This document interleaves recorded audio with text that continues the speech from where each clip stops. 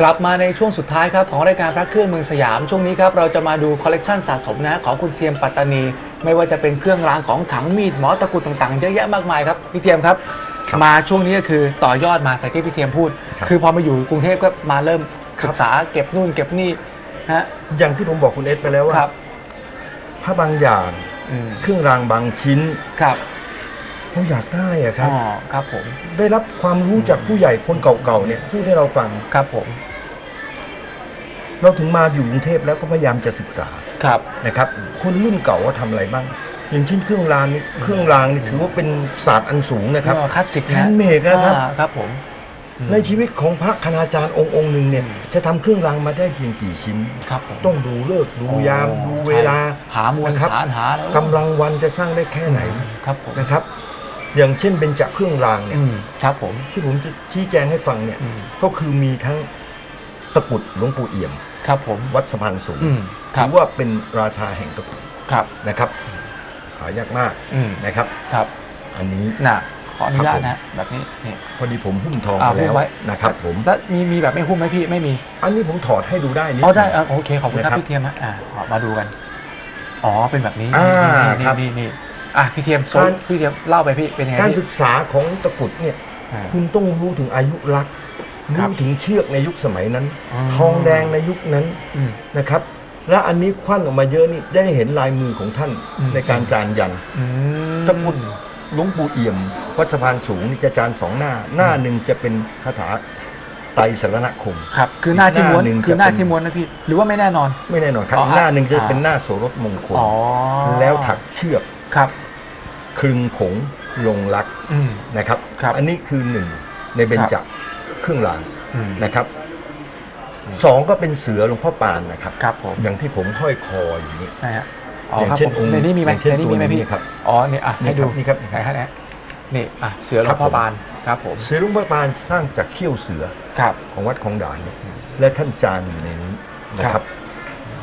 ก็ต้องพิจารณาเรื่องความเก่าอืมนะครับ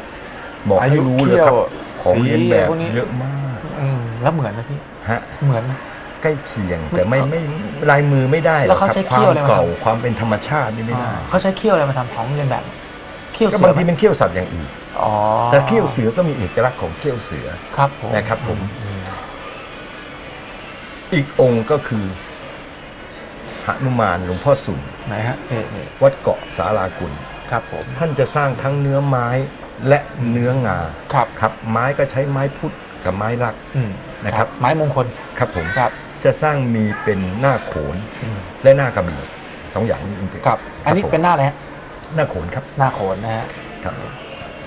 อะต่อมาครับพี่มีครับไหมก็เป็นเบี้ยแก้อ๋อเบี้ยแก้นี่แบบครับนี้เบี้ยแก้ของหลวงปู่รอดวัดในโรในโรงงครับผมนะครับอืมถือว่าเป็นต้นตำรับของเบี้ยแก้อืมนะครับ เป็นที่เสาะหาของครัขบองนักขสมทีเดียว ครับอันนี้เป็นเบี้ยครูจะมีครับตะกรุดหนึ่งดอกครับ นะครับแต่ถ้าไม่ใช่เบี้ยครูนี่คือไม่มีตะกรุดตรงนี้ครับผมครับก็จะเป็นตัวตัวเบี้ยเฉยธรรมดาก็หายากแล้วครับ ๆครับอืมแล้วยิ่งนี่แบบเป็นเบี้ยครูก็ไปอีกครับผม หายากไปอีกนะฮะครับผม และอีกองค์หนึ่งก็คือไหนอ่า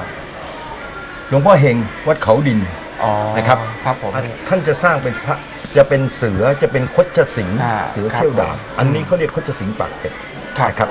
ก็เจอน้อยเช่นกันอืมนะครับสร้างมาจากอะไรฮะงาหรืออะไรฮะงาครับครับผมส่วนอีกชิ้นหนึ่งเนี่ยอืมก็คือพรหมสีหน้า ครับผม อันนี้เป็นคารวาสนะครับอ๋อท่านอาจารย์เฮงไพยวันครับผมนะครับผม เราเนี่ยจะเจอเยอะอืมเจอกันน้อยมากนะครับ ครับส่วนที่ในนี้เนี่ยก็จะมีทั้งตะกรุดนะครับอ่าประหลัดขิกหลวงพ่อเหลืองานนะขอดูนะฮะอ่นะครับปลาคิกนี่หลวงคืพ่ออประหลัดขิกหลวงพ่อเหลือครับ ครับผมอืมสร้างมาจากอะไรฮะ ไม้ครับ ไม้เป็นไม้อะไรแก่นคูณอ๋อนะครับผมครับ อันนี้อันหนึ่งก็เป็นเบี้ยแก้ครับผมของปู่รอดเช่นกันอะเดี๋ยวขอดู นะครับผมแต่อันนี้ลูกใหญ่เลยนะเนี่ยครับผม นะฮะคือยุคสมัยก่อนนี่ครับมันไม่ได้คัดเลือกขนาดที่ต้องเล็กมครับ ครับ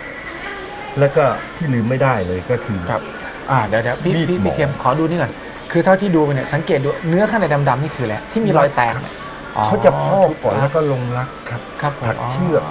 นี่นะครับพอรักแห้งเข้าก็คือแตกเอาเลยอานะยุฮะรักเนี่ยอืมเมื่อผ่านอายุเป็นร้อยปีก็จะแปลสภาพครับอมแดงอย่างนี้แห้งนะครับเลยอะครับผมนี่นี่แห้งสนิทเลยนะคุณผู้ชมครับผมดูเนี่ยครับ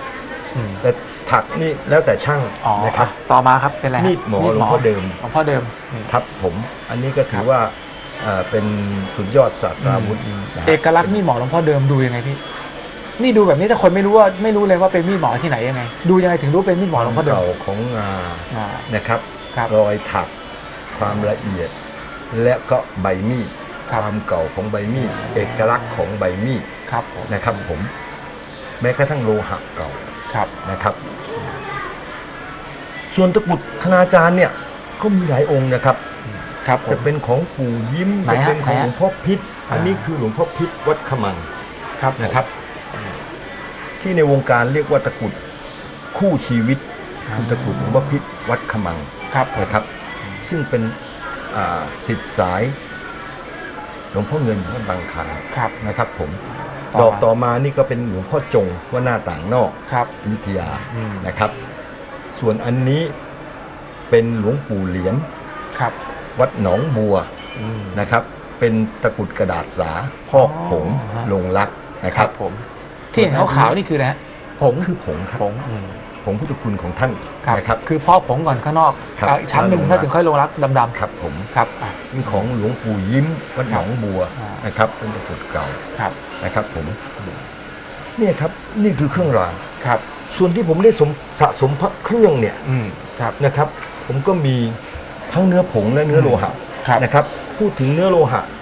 ผมก็มีหลวงปู่เอี่ยมวัดหนัง ซึ่งเป็นเนื้อครับปิดตาสำลิดเงินครับนะครับจัดสร้างได้ยากมากอืมยุคสมัยนี้ไม่มีการสร้างเนื้อสำลิดเงินเช่นทำไมนี้เป็นแล้ว เพราะสำลิดเงินนี่สร้างกันแต่สมัยโบราณนะครับครับ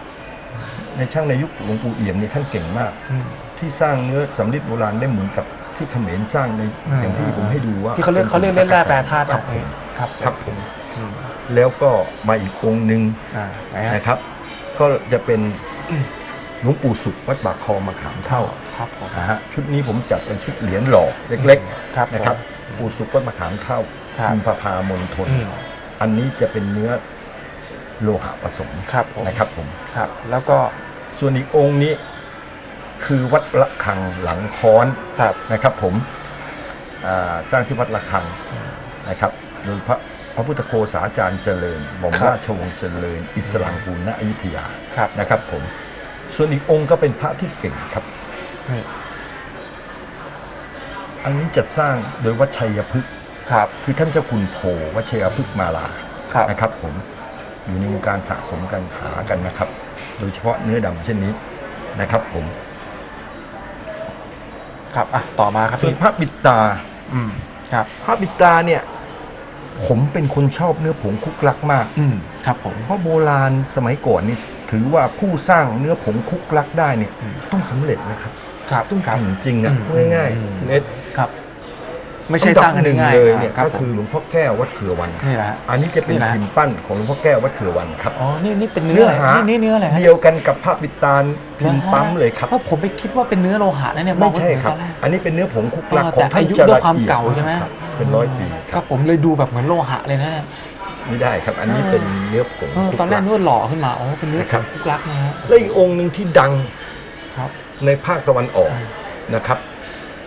อีกองค์นะครับ คือครับหลวงปู่จีนอืมวัดท่าลาดครับ ก็นี่ก็เป็นเนื้อผงคุกลักและครับลงลักด้วยอืมนะครับ อันนี้เป็นพิมพ์เม็ดกระบอกเล็กครับผมนะครับ ผมอ่าพระคณาจารย์ที่ดัง ๆ สายนั้นน่ะจะมีหลายองค์ครับนะครับ แต่ในที่กทมเนี่ยครับ ก็มีนะครับอ๋อหลวงพ่อทับวัดทองเนี่ย อ๋อครับ ส่วนใหญ่พวกเราจะเจอแต่เนื้อโลหะของท่านไม่ว่าครับจะเป็นเนื้อสำลิดเงินเนื้อชิมตะกั่วอืมแต่ท่านได้สร้างเนื้อผงคุกลักด้วยนะคครัรับบผม และเอกลักษณ์ของท่านเนี่ยก็จะเป็นเหมือนพระปิดตาเนื้อพิมพ์เนื้อโลหะเหมือนกัน ครับแต่เนื้อหาอืม ละไม้คล้ายคลึงกับหลวงพ่อแก้ววัดเครือวันอืมมากทีเดียวครับ อืม ละเอียดถือว่าท่านสำเร็จ ครับผผู้มหนึ่งอืมนะครับผมครับอะมีไหมครับที่น่าสนใจในพวกนี้มีครับทางสูตรประการก็มีอ่าหลวงพ่อเชยอะไรครับเนี่ยฮะครับบางครับกระสอบผมนะครับ ผม แล้วเก่าแก่กว่าหลวงพ่อเชยเนี่ยคือองค์นี้ครับไหนฮะหลวงปู่บัว วัดลวกสมุทรอ๋ปราการอโอเคโอเคเป็นพิมพ์นั่งยองแบบนี้นะฮะนะครับ ผมครับอันนี้เป็นเนื้อผงคุกลักทั้งสิ้นฮะครับ แต่คุณได้กว่าจะสะสมเนื้อผงคุกลักได้เก้าองค์ไม่ใช่ง่ายเลยนะครับอ๋อฮะครับด้วยใจรัก ครับด้วยความชอบอืมนะครับ ครับอะต่อมานี่ฮะที่เกรินเอาไว้ อันนี้เนี่ยถือว่าเป็นต้นตำรับในการสร้างเนื้อชินเงิน ครับ เรียกว่ากิ่งพระปทุมหรือครับ กิ่งตะกะแตน อืมครับ หรือกิ่งเขมรอืมนั่นเองครับ นะฮะยุคเขมรเรืองอำนาจเนี่ยได้สร้างสืบทอดพระพุทธศาสนาเนี่ยครับ สร้างเป็นพระกลิ่งอืมนะครับ ศิลปะแบบนี้ ครับผมนะฮะอยู่ในเบญจกิ่งนอกครับนะครับอืม กิ่งนอกนี่ก็จะมีกิ่งใหญ่ครับคือกิ่งจีนอืม นะครับ ครับ กิ่งอุบาเกงครับ กิ่งหนองแส ครับอืม กิ่งพัทรีตรีอ๋องอืมหรือคตรัรีบอ๋องนะฮะครับ แล้วก็กิ่งตะกะแตนครับ อืมนะฮะแล้วด้านแล้วด้านบนนี่คืออะไรฮะอันนี้เป็นลูกสะกดครับเนื้อผเมกะพัดอ่านะครับผมของส่วนที่ด้านหลังเนี่ย ของที่ไหนฮะอันนี้อันนี้เป็นของวัดห้วยจระเข้ครับ ครับผมอืมส่วนด้านหลังเนี่ย จะเป็นการเล่นแร่แปรธาตุแล้วล่ะครับ อันนี้แหละฮะ อันนี้คือพระบิดตาวัดอนงเนื้อเมฆกสิทธิ์ครับ อืมครับผมการทำเนื้อเมฆกสิทธิ์นี่ถือเป็นการเล่นแร่แปรธาอืตุมนะครับผมสวยนะฮะอ่าครับอะเอาละครับแหมนี่ครับวันนี้นะฮะผมครับ คือคนยุคเราเนี่ย พยายามเล่นพระเนี่ย ผมมีความคิดว่า อย่าคิดเป็นพุทธพาณิชย์ทั้งหมดนะคอืรับมครับ ถ้าท่านเล่นด้วยใจรักอืมเล่นด้วยแรงศรัทธาครับผมนะครับ เก็บสะสมศิลปะเก่าอืมๆความรู้ของคนโบราณ ครับ สืบทอดได้จากการสร้างพระเครื่องนะครับ ผมว่ามันจะเป็นประโยชน์อืมและเป็นการศึกษาครับ ให้กับคนรุ่นหลังอืมได้ไปต่อยอดกันครับผมครับจะได้ผมศึกษาจากเราไปอืมครับนะครับแหมคุณเอ็ดครับครับแหมวันนี้นะก็คือได้ความรู้ต่างๆนะจากพี่เทียมไปมากมาย พี่เทียมครับ หากว่าคุณผู้ชมสนใจอยากจะเริ่มเก็บพระสายใต้ พี่เทียมแนะนำเนี่ยวันณปัจจุบันเนี่ยปี 59เนี่ยถ้าจะเพิ่งเริ่มต้นเนี่ยต้องต้องทำยังไงบ้าง ถึงจะแบบว่าเก็บแล้ววันข้างหน้ามีอนาคตกลายเป็นของหายากเชิญนะไอ้ไอ้ไอ้เรื่องนี้นะฮะจริง ๆ แล้วมันก็ไม่รู้จะพูดยังไงนะคครัรับบผมคิดว่าอยู่ที่ความศรัทธาของคนมากกว่านะครับผมพระคณาจารย์ดังทางภาคใต้ก็มีหลายองค์ครับนะฮะเครื่องรางหรือวัตถุมงคลของท่านบางชิ้นเนี่ยอืมปัจจุบันก็มีราคาสูงแล้วครับนะครับ แต่จะให้ผมบอกว่าพระองค์ไหนในอนาคตจะดังเนี่ยอืม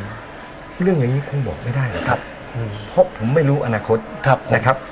แต่พระคณาจารย์ที่จริยวัตรงามอืมที่มีการสืบทอดครับ มีการบอกเล่ากล่าวขานกันมาเนี่ย ปฏิบัติดีเนี่ยครับก็ควรอืมที่จะมีวัตถุมงคลของท่านครับไว้คุ้มกายครับอืม ครับผมก็คือเรื่องจากความศรัทธาเป็นที่ตั้งครับผมนะครับแหมวันนี้ขอบคุณพี่เทียมมากๆครับ สวัสดีที่ครับ มาแนะนำนะครับเรื่องราวดีๆของพระสายใต้ให้คุณผู้ชมได้นำไปต่อยอดกัน ยินดีคครัรับบผม คุณผู้ชมครับ หมดเวลาของรายการพระเครื่องเมืองสยามนะครับสำหรับคุณผู้ชมที่ต้องการติดต่อรายการของเรา ติดต่อรายการของเราได้ตามช่องทางที่ปรากฏอยู่ทางด้านล่างนะครับ และคุณผู้ชมที่ต้องการรับชมรายการย้อนหลัง สามารถรับชมได้ผ่านทาง YouTube โดยพิมพ์คำว่า Miracle Channel TV Thailand ก่อนจากกันในวันนี้นะครับ ขอให้บารมีและความศักดิ์สิทธิ์ของพระเครื่องทุกองค์ ที่เราได้รับชมในวันนี้ได้โปรดดลบันดาลให้คุณผู้ชมทุกท่านประสบแต่ความสุขความเจริญไม่เจ็บไม่จนครับ วันนี้ผมและคุณเทียมปัตตานีลาไปก่อน สวัสดีครับ